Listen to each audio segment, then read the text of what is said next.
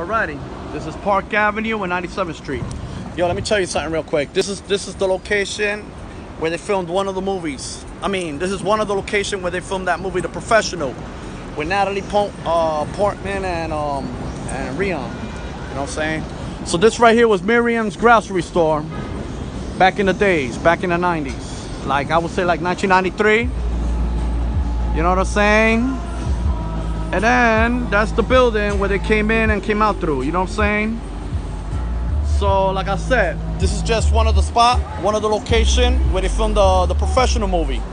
So this right here was Miriam's grocery store back in the early 90s. And this was actually the entrance to the to the to the spot where they were living at. You know what I'm saying? Um, and um, yeah, so that's still remaining. But I'm gonna show you real quick some part of the movie that goes along with where I'm at right now. You know what I'm saying? So I'm gonna show you a little clip of the movie. You know what I'm saying? So you can see how similar it was back then and what it is today. All right, all right, man.